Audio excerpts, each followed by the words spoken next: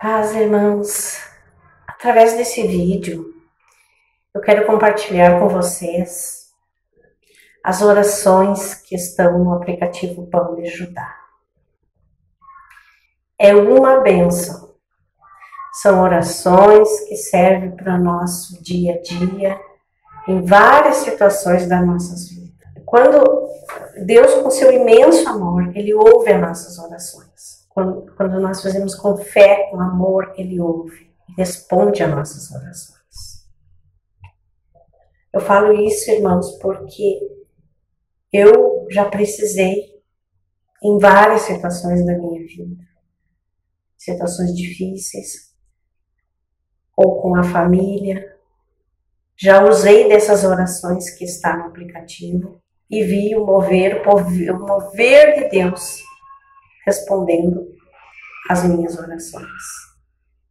Então, irmãos, eu aconselho que todos tenham esse aplicativo, essa ferramenta maravilhosa, que é de graça para nossas vidas. É uma benção. Ali tem várias, várias orações para todo tipo de, de, de situações que nós necessitamos.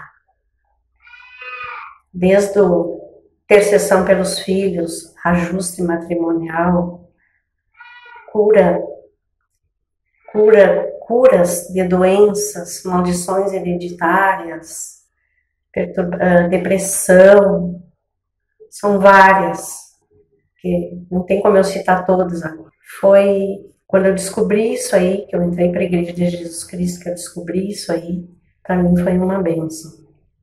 O poder de Deus, o mover de Deus nas nossas vidas. Tá, irmãos? Então, eu aconselho que todos façam uso desse aplicativo, que dentro desse aplicativo tem várias outras ferramentas. Mas a que mais eu uso, que mais me, me comove, é as orações. Praticamente eu faço quase que todos os dias. Amém, irmãos?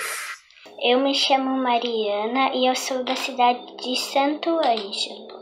E bom, Hoje eu vim falar sobre o aplicativo Pão de Judá da oração cura divina.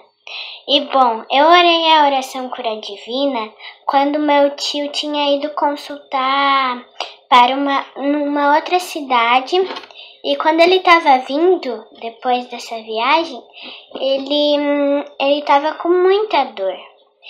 E daí eu peguei e eu peguei e abri o aplicativo Pode Ajudar no celular da minha mãe e eu orei uh, a oração cura divina. E daí quando ele chegou em casa, o meu tio, ele já estava bem e sem dor. Esse foi o meu compartilhamento. Tchau! Ah, irmãos, eu quero compartilhar com vocês a experiência que eu tive com o aplicativo Pão de Ajudar no, no, no ícone Orações Doutrinárias.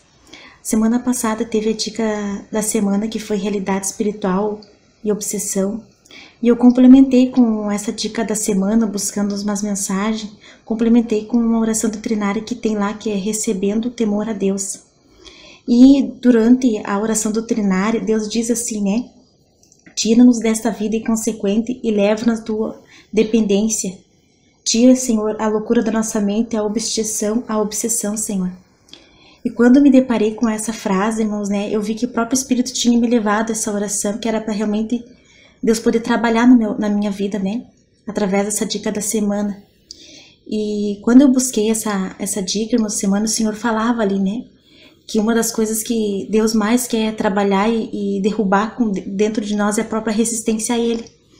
E ali ele falava que hoje, quando Deus manda a gente falar para gente usa a sua palavra, manda a gente liberar aquilo que Ele quer, a gente resiste ao espírito. Só que naquele momento, quando ele manda a gente falar, naquele momento o campo espiritual, né, o mundo espiritual, aquela alma está aberta para receber Cristo.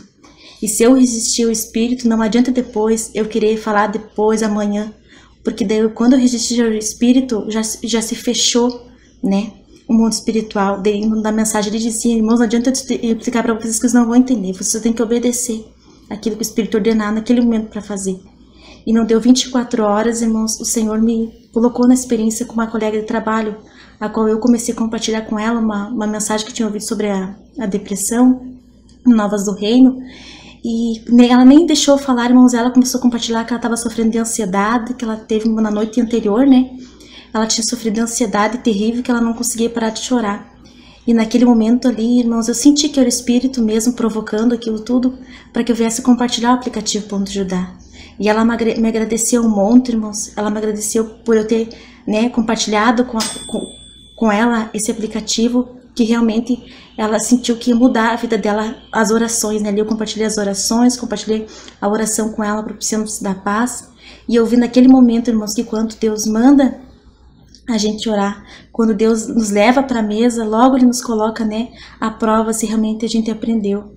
E se a gente não resiste ao Espírito, a gente sente que a gente é abençoado e as pessoas também são abençoadas, tá? Eu uso o aplicativo Ponto Ajudar. Deus abençoe.